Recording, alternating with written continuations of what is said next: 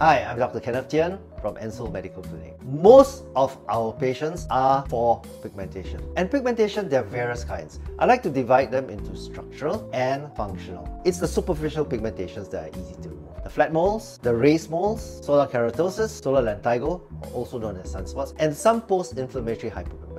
Most patients between one, sometimes two, three sessions lighten significantly. Now we've got the deep pigmentation. Hori's nevus. It takes a lot of energy to penetrate right into the skin to break the pigmentation without damaging the skin. For that, I have a 755 Alexandrite that I find very useful to hit the deep pigmentation, whereas the 1064 picosecond may not be able to break this deep pigmentation. The other kind of pigmentation, we do a lot of them, is melasma. Melasma is functional. It keeps coming back. Now, due to genetic factors, sun damage when you were young, hormones, that's why 90% of melasma patients are females and 10% males, and of course, growing older.